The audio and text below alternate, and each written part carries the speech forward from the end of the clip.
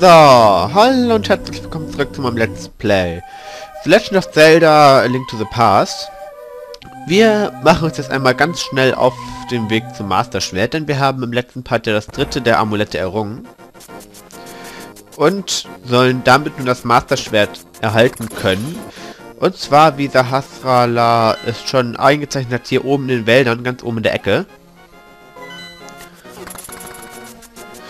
Und ja, einfach schnell hinlaufen. Ich will mich da nicht so lange aufhalten. Ich möchte möglichst noch in diesem Part ähm, den ja, Schloss Hyrule fertig machen. Ach, geh mir nicht um den Geist. Zack. So. Diesmal werden wir ein bisschen, na, nicht wirklich viel mehr von den Wäldern sehen. Eigentlich sind wir hier auch gleich schon wieder durch, oder? Ja, fast. Was wir noch gar nicht gesehen haben, sind, sind die... Okay, falsch abgebogen. Da! Da ist ein Master-Schwert. Das holen wir uns einfach gleich mal. Ähm, nein, wir holen uns das nicht. Was ihr da seht, sind Diebe. Die rempeln euch an und wir verlieren dann unser Inventar. Also Teile daraus. Das möchte ich möglichst nicht haben. Blöde ist, sie sind auch ziemlich hartnäckig beim Verfolgen. So, ich hoffe mal, ich kann jetzt einigermaßen umgehen. Weil ich möchte ihn nicht dabei haben, wenn ich mir gleich das verdammte Schwert erhole. So, nun bleibt er oben und nervt mich nicht. So. Das ist das Master Schwert. Oder auch doch nicht, okay. Ja, in diesem Wald gibt es auch mehrere Fälschungen. Da müsst ihr vielleicht aufpassen. Stand er hier nicht irgendwo? Will er mich verdingseln? Egal, okay. Nervte mich wenigstens gleich nicht mehr. Gut, wir gehen hier oben lang. Ich glaube, ich bin... Es gibt mehrere ähm, Orte, wie, ähm, in denen wir in den Wald können. Ach nee, das geht hier noch gar nicht.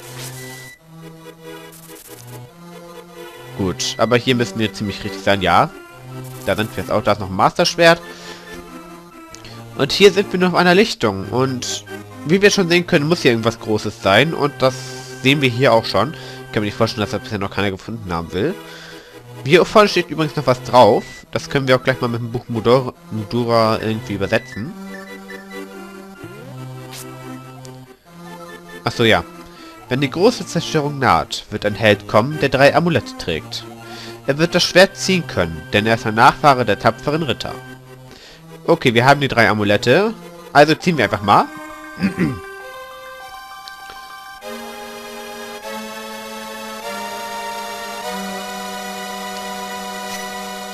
Immer wieder erstaunlich. Er packt mit zwei Händen an und zieht damit eine raus. Luffy, ich bin's, Sahasrara. Ich kann es kaum glauben, dass du tatsächlich das Masterschwert errungen hast.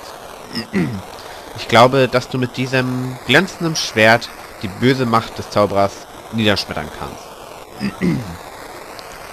Das Schicksal dieses Landes liegt in deinen Händen. Ich habe Vertrauen in dich. Okay, ja, damit ist der Nebel hin und weg aus den Wäldern. Ähm, die Besonderheiten des Schwertes bei voller Energieleiste können wir diese Energieringe abschießen. Und ich glaube, ich habe zumindest immer das Gefühl, dieses Schwert hat auch ein bisschen mehr Reichweite. Aber das, da bin ich mir nicht hundertprozentig sicher mit. Luffy, Hilfe, die Burgwachen dringen in die Kathedrale ein. Den Schrei spare ich mir jetzt einfach mal, weil ich nicht schreien kann. Ähm, ja, das sollte ein kleiner Hinweis sein, dem wir auch schnell nachgehen werden mal. Geh mir auf den Weg, du blöder Busch. So. Und wie ihr seht, der Nebel ist jetzt aus dem kompletten Wald weg. Das heißt, wir haben jetzt überall freie Sicht. Ähm, dafür ist aber auch diese wunderschöne Mu Musik hier drin weg. Das finde ich etwas schade. Gut. Ach ja, und das Master-Schwert ist natürlich auch stärker. Ähm, und zwar um das dann doppelt so stark wie unser altes Schwert. Das wird uns hier nicht viel bringen, weil schon bald werden auch die Gegner doppelt so stark sein. Zumindest hier in der Lichtwelt. Und auch in der Schattenwelt werden die nicht gerade zimperlich sein. Achso, ich habe schon wieder viel zu viel vorgegriffen. Ähm, ja, wir sind jetzt erstmal fast bei der Kathedrale, wenn uns dieser Baum da nicht aufgehalten hätte. Ach, geh mir mal aus dem Weg, du blöder Felden. Danke. Gut, ab in die Kathedrale. Und... Oh, zu schnell. Da sehen wir ihn liegen und Prinzessin Zelda ist weg. Was hast du zu sagen? Luffy, du kommst eine Sekunde zu spät. Aha. Wir konnten es nicht verhindern. Zelda. Die Soldaten haben sie entführt. Sie brachten sie ganz oben im Burgturm. Du musst sie finden, bevor der Zauberer seine Magie gegen sie anwendet. Bitte, du bist unsere einzige Hoffnung. Okay, ja, damit ist der Priester damit auch tot. Ähm, erspare mir einen Kommentar jetzt dazu. Ähm, wir begeben uns einfach ganz schnell in die Burg.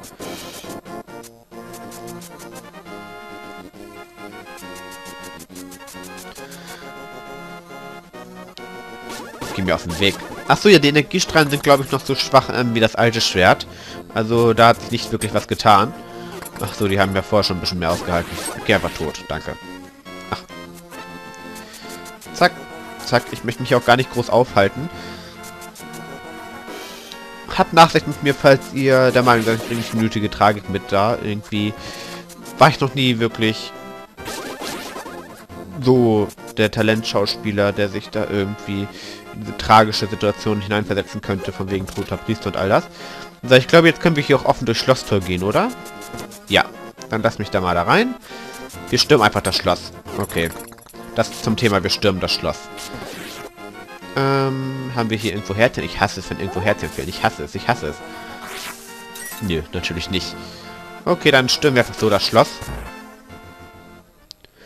Gut. Wie wir schon gehört haben, ist Zelda am Burgturm. Komm her, danke. Und tot.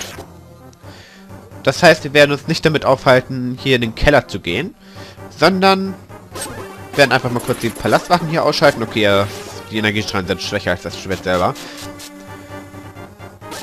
Zack, zack, man nett, kennenzulernen.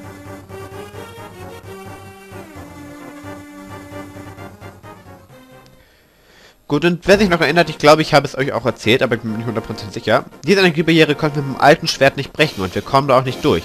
Jetzt mit dem Master Schwert können wir es einfach kaputt hauen und wir kommen durch da. Tetratet. Gut, und nun beginnen die letzten Stockwerke des Schlosses. Ach, die habe ich ja lieb.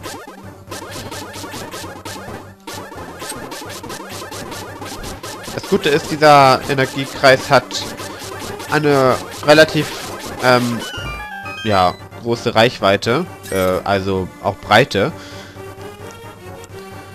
Dass man mit denen da zumindest gerade am Anfang kein Problem haben sollte.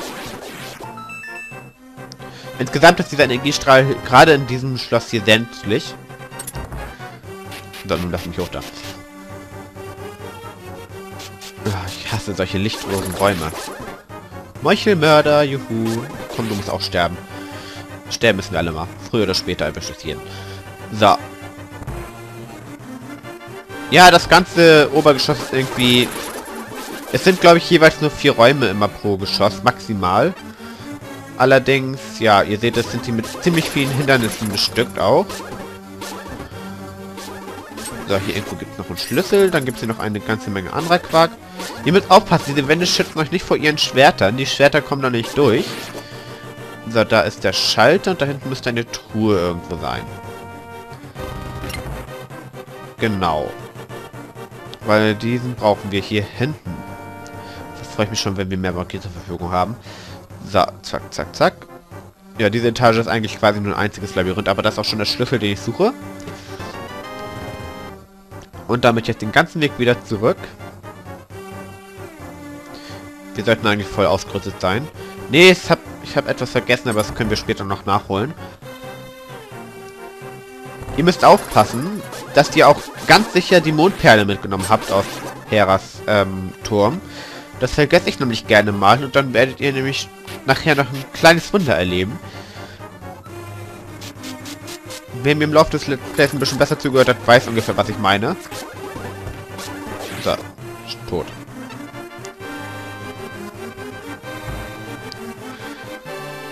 Ich kann es einfach nur wirklich empfehlen, weil es passiert mir eigentlich bei jedem zweiten Durchgang irgendwie, dass ich diese Mondperle vergesse. Und ich könnte mich jedes Mal dafür selber verprügeln. Weil das auch so ein dummer Fehler ist eigentlich. Und man die Mondperle trotzdem so leicht übersehen kann und auch vergessen kann, wenn man einfach nur schnell durchwascht. Ah, ich wusste doch, dass hier ist noch ein Krieger. Dann ist vorbei. Ach, hör auf zu schießen. Gut. Und dann sollten wir auch bald ganz oben sein, also zumindest in einem Bereich, wo es wieder Licht gibt. Hoffentlich. Ja, Licht! Licht! Die stehen ja noch so bescheiden hin, dass ich sie ganz in Ruhe abschießen kann. So, was sagt uns diese Box da? Hör gut zu, Luffy. Selbst mit dem Master-Schwert kannst du den Zauberer nicht bezwingen. Finde einen Weg, seine böse Magie auf ihn zurückzuschleudern. Jupp, wir können Aganim nicht direkt angreifen. Ist ein wichtiger Hinweis, weil wenn wir es probieren, kann es ordentlich wehtun. Ach komm, du hast doch eh nichts hier. Zack, tschüss, fand ich kennengelernt zu haben. So. Komm her, du Tomatenritter. Erstmal dich. Und nun können wir nochmal miteinander reden. Wie findest du das? Ach komm her, du. Daneben so. Da halte ich mich jetzt nicht allzu lange mit auf. Ich wollte hier heute nur fertig werden. So. Tschüss. War auch dich kennengelernt zu haben. Ja, was durch die Krüge lasse ich mir noch. Das könnte noch etwas nützlich sein. In den Krügen befinden sich nicht so einige Power-Ups. Da ist noch so ein blöder Morgenstern-Typi. Ach, ich wusste es. Ja, nun habe ich mich hier es war etwas ungünstig mit dem, was ich getan habe. Zumindest haben die... Autsch. Kein Schild. So. Du bist nur nicht das große Problem. Jetzt im Direktkampf bist du relativ leicht. Nur etwas zeitaufwendig, das muss man ihnen lassen. So, das war's. Und nun war es doch gut, dass ich mir hier die Krüge aufbewahrt habe. Weil unter einigen befinden sich Herzen und ich glaube, ich habe oft genug betont, dass ich es hassen, irgendwie nicht vollständig ausgerüstet zu sein. Da.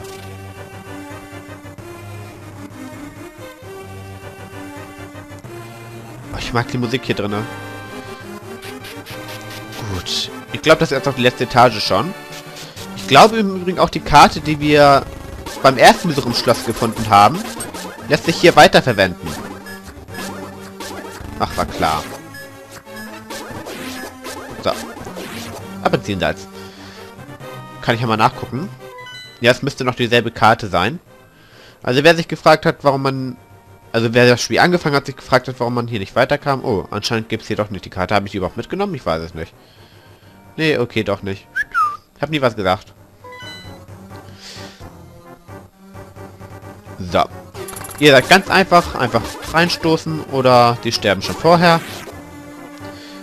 Okay, mit meinem Joypad, Controller, wie auch immer, ähm, ist so ein dünner Weg natürlich jetzt gerade ziemlich tödlich. Gut. Und damit haben wir es auch schon. Epische Musik, bevor wir da sind. Ein nettes Auge auf dem Boden. Und... Aganim. Oh la la, Luffy, schön, dass du gekommen bist. Hahaha, ich habe auf dich gewartet. Endlich kann ich Zelda vor deinen Augen verschwinden lassen. Die genau hin.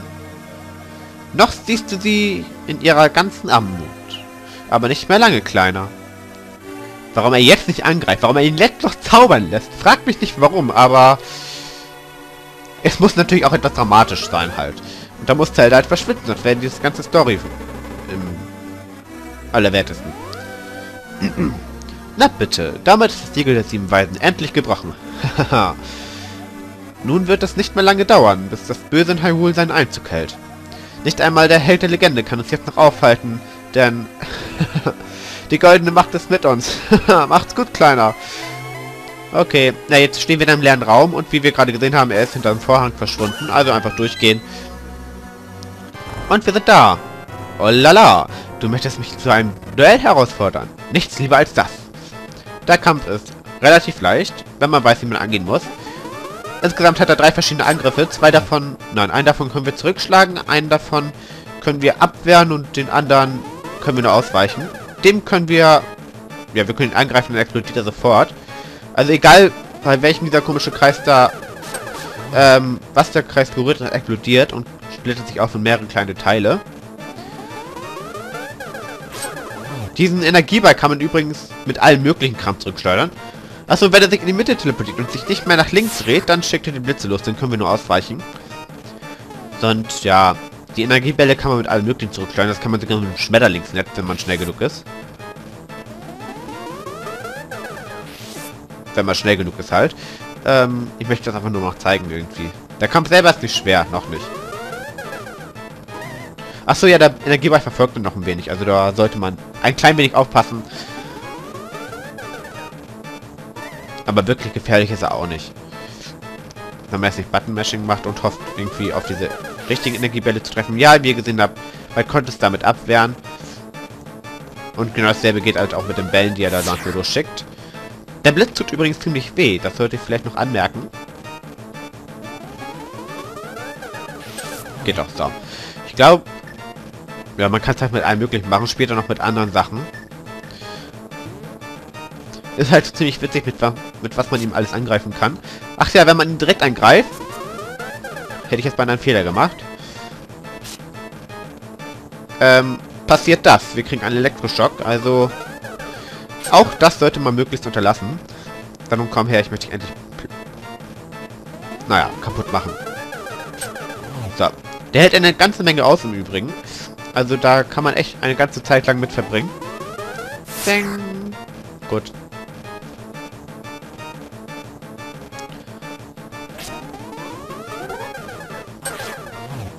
Okay. Oh lala, das war einem Helden würdig. Aber so schnell gebe ich nicht auf. Attention? Was macht ein englisches Wort in einem deutschen Spiel? Okay, das Spiel ist eigentlich so deutsch wie... Na egal. Ähm, auf jeden Fall... Da hat wohl jemand was vergessen zu übersetzen. Ich werde dich nun in die Schattenwelt verbannen. Ha! Gut. Und tschüss. Wo landen wir? An der Spitze einer riesigen Pyramide. Luffy, kannst du mich hören? Ich bin es der Hasrala, der zu dir spricht. Der Ort, an dem du jetzt stehst, war einst das goldene Land. Doch nun ist es die Schattenwelt, in der das Böse regiert. Der Zauberer scheint das Siegel der Weisen gebrochen zu haben. Damit schuf er am Eingang der Burg eine Verbindung, durch die das Böse der Schattenwelt in die Lichtwelt eindringen kann. Nur wenn die goldene Macht zurückgewonnen wird, ist die Lichtwelt zu retten. Auch musst du sieben Weisen, äh, sieben Mädchen befreien. Sie sind Nachfahren der sieben Weisen. Ihre ererbten Kräfte werden dir bestimmt helfen. Sie werden in den Verließen der Schattenwelt festgehalten. Gehe zuallererst zum Palast der Dunkelheit. Du bist die einzige Hoffnung. Erfülle den Wunsch eines alten Mannes. Bitte. Ja, das hier ist die Schattenwelt. Dazu haben wir natürlich auch gleich eine ganze Karte bekommen. Wie wir sehen, hat diese Schattenwelt erstaunliche Ähnlichkeiten mit der Lichtwelt. Bis auf ein paar kleine Details. Ja, bis auf ein paar Kleinigkeiten besser gesagt. Wie ihr seht, die Wüste wurde zu einem Sumpf. Ansonsten, ja, wir werden während der Reise noch einige Unterschiede sehen. Aber im Großen und Ganzen ist sie ziemlich gleich Licht- und Schattenwelt. Wurde aber auch gesagt. Ähm, ja, wer nun im Heeresturm die Mondperle vergessen hat, dem bleibt nichts anderes übrig, als jetzt mit dem Spiegel wieder zurück in die Lichtwelt zu kommen. Und da dann in Heeresturm die Mondperle zu holen. Also wie gesagt, ich spreche aus Erfahrung. Und ansonsten, wie ihr schon gehört habt, wird es nun unsere Aufgabe sein, hier ein bisschen rumzusuchen nach sieben Kristallen, die wir da sehen, auch in der, an der Seite jetzt. Jetzt neu. Ja, wovor die Amulette waren, sind jetzt die Kristalle. Das heißt, wir haben jetzt eine etwas größere Aufgabe vor uns. Allerdings wird das erst im nächsten Part drankommen. Ähm, denn ich bedanke mich an dieser Stelle fürs Zusehen. Wir machen hier demnächst weiter und ich sage bis dann.